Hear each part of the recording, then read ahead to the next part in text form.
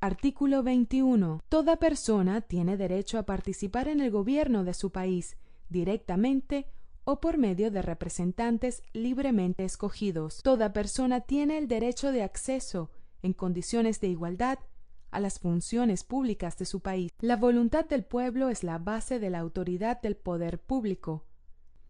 Esta voluntad se expresará mediante elecciones auténticas que habrán de celebrarse periódicamente por sufragio universal e igual y por voto secreto u otro procedimiento equivalente que garantice la libertad del voto.